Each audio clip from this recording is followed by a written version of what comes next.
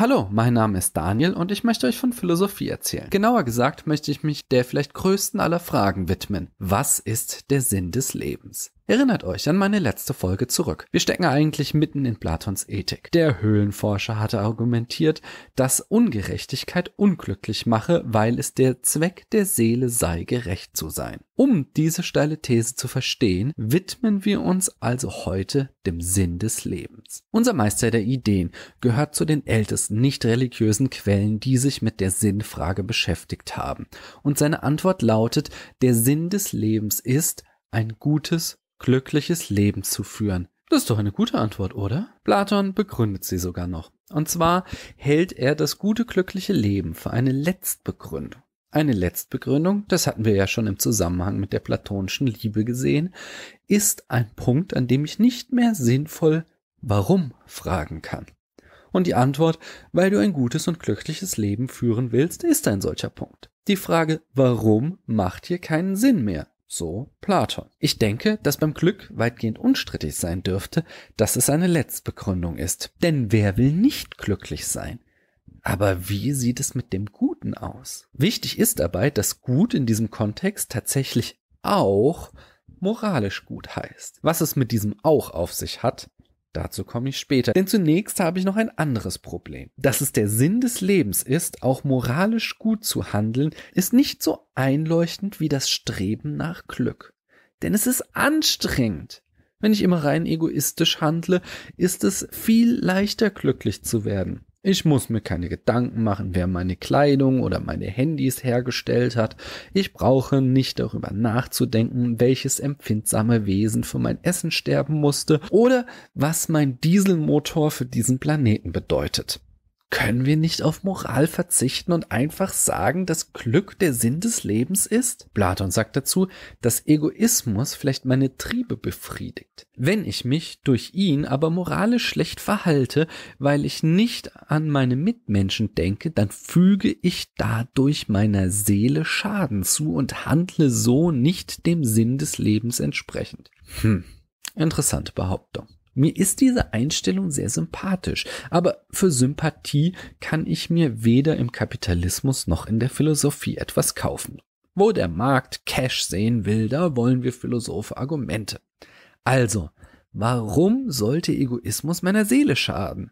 Nun, dazu müssen wir zu unserer Frage aus der letzten Folge zurückkehren und uns angucken, was Platon über Gerechtigkeit sagt. Die Frage, was Gerechtigkeit ist, beantwortet Platon dadurch, dass er ein Modell der Seele entwirft. Demnach besteht die Seele aus drei Teilen. Zum ersten gibt es die Begierden, die natürlichen Triebe wie Hunger, Durst und den Sexualtrieb. Der zweite Teil ist die Vernunft und der dritte Teil sind die Gefühle, die Emotionen. Auch diese drei Seelenteile hören sich äußerst plausibel an. Zwar sieht die moderne Psychologie das Ganze etwas komplexer, aber der Grundansatz ist verdammt clever. Ein Mensch ist, so fährt Platon fort, dann zu sich selbst gerecht, wenn er allen drei Teilen seiner Seele das zukommen lässt, was ihnen zusteht. Oje, rieche ich da mal wieder jedem das Seine? Für die Vernunft ist es angemessen. Richtig, das heißt logisch zu denken. Für die Emotionen ist es angemessen, angemessen zu reagieren und für die Triebe ist es angemessen, in angemessener Weise das Leben der Menschen zu bestimmen. Für Platon heißt das vor allem gezügelt zu werden. Es ist interessant, dass Platon alle drei Seelenteile als etwas Wildes betrachtet, das in der einen oder anderen Form kontrolliert werden muss. Der Vernunft kommt dabei, wie könnte es auch anders sein, eine besondere Rolle zu. Sie muss über die anderen beiden Teile der Seele herrschen und so für Ordnung sorgen. Wenn also unsere Triebe danach verlangen, etwas zu essen, obwohl wir wissen, dass wir schon genug Kalorien zu uns genommen haben, dann muss die Vernunft ihnen Einhalt gebieten damit wir nicht zu dick werden. Genauso muss die Vernunft unsere Emotionen kontrollieren, wenn wir beispielsweise jemandem die Fresse polieren möchten, weil er verdammt nochmal ein Arschloch ist. Wenn die drei Seelenteile eines Menschen sich aber in einer inneren Harmonie befinden, dann herrscht Gerechtigkeit und dann wird ein Mensch in einer solchen Harmonie auch nur gerecht handeln. Aber Moment, das ist ein merkwürdiges Gerechtigkeitsverständnis, oder? Denkt noch einmal an die letzte Folge und unsere Untersuchung des Begriffs der Gerechtigkeit.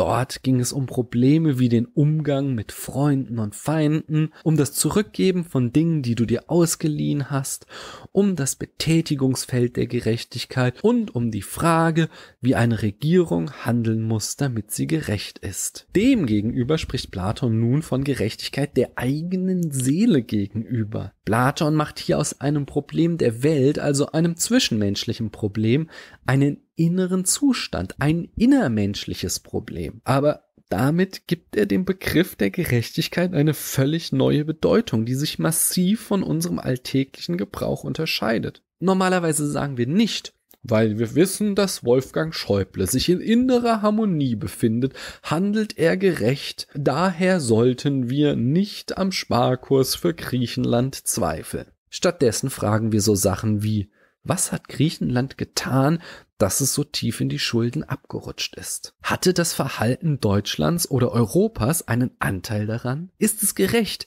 die griechische Bevölkerung für einen komplexen volkswirtschaftlichen Prozess durch so massive Sparmaßnahmen zu bestrafen? Und ist es gerecht, die deutsche Bevölkerung mit ihren Steuern für die griechischen Schulden zahlen zu lassen? Das sind alles Fragen, die sich auf das Verhalten von Menschen und Staaten beziehen. Diese Fragen betreffen Zustände in der Welt und nicht innere Zustände von Menschen. Wir kennen natürlich auch Fälle, in denen wir davon sprechen, dass jemand selbstgerecht ist oder im Gegenteil zu hart mit sich ins Gericht geht. Aber diese Anwendung des Begriffs der Gerechtigkeit auf das eigene Ich ist ein Sonderfall, ein Extrem, das sich aus dem Regelfall der zwischenmenschlichen Gerechtigkeit ableitet. So leid es mir tut, ich finde diesen Teil der platonischen Philosophie wirklich schwach. Allerdings darf ich nicht verschweigen, dass Platons Definition der Gerechtigkeit noch nicht am Ende ist. Damit ein Mensch gerecht handeln kann, muss noch etwas weiteres hinzukommen. Denn die Vernunft kann die Seele nur ordnen, wenn sie ihrerseits auf etwas bezogen ist, etwas anstrebt, das Gute. Jetzt kommen wir auf das Auch vom Anfang zurück. Denn es ist wichtig zu wissen, dass Platon noch nicht eindeutig zwischen moralisch gut und zweckdienlich unterschied, da es in der griechischen Sprache diese Unterscheidung nicht explizit gab. Ein Messer kann genauso gut sein, wenn es gut schneidet, wie eine Person, wenn sie gut handelt. Das ist wichtig zu verstehen, denn dann macht es plötzlich viel mehr Sinn, dass der Sinn des Lebens es ist, gut und glücklich zu sein. Platon nennt alles gut, was irgendwie erstrebenswert ist. Immer wenn jemand etwas tut, dann macht er oder sie dies, weil das, was sie oder er anstreben, etwas Gutes ist. Kapiert? Ich möchte etwas essen, weil es gut für mich ist. Genauso möchte meine Seele gerecht sein, weil es gut für sie ist. Allerdings ergänzt Platon, dass eine Person sich darin irren kann, was gut ist. Ein Junkie wird Heroin erstrebenswert finden, aber es ist nicht gut für ihn. Aber angenommen, wir haben einmal herausgefunden, was das wirklich Gute ist dann kann und wird unsere Vernunft dies anstreben. Daraus folgt dann, dass unsere Seelenteile in Harmonie gebracht werden. Ein Mensch wiederum, dessen Seelenteile sich in Harmonie zueinander befinden, ist glücklich, woraus wiederum für Platon folgt, dass das Streben nach dem Guten glücklich macht. Und somit schließen wir wieder den Bogen zurück zum Sinn des Lebens. Nur wenn wir gut handeln, ist unsere Seele in Harmonie und nur so werden wir auch wirklich glücklich sein. Damit deckt sich auch etwas, für das sich der echte Sokrates stark gemacht hat. Das Unrecht zu tun schlechter ist, als Unrecht zu erleiden. Denn wenn ich Unrecht tue, dann wird meiner Seele Schaden zugefügt. Dies war der Grund, warum Sokrates sich weigerte, nach dem Todesurteil zu fliehen. Okay, Jetzt wissen wir, was der Sinn des Lebens ist und wir wissen, was uns glücklich macht, das Streben nach dem Guten. Doch damit werden wir wieder auf den Anfang meiner Erörterung von Platons Philosophie zurückgeworfen zu den drei Gleichnissen. Denn wir müssen uns einmal mehr fragen, was ist es denn nun, dieses Gute? Doch das machen wir beim nächsten Mal. Bis dahin könnt ihr diesen Kanal abonnieren, damit ihr die nächste Folge auch nicht verpasst. Ich danke euch, dass ihr mir eure Zeit geschenkt habt.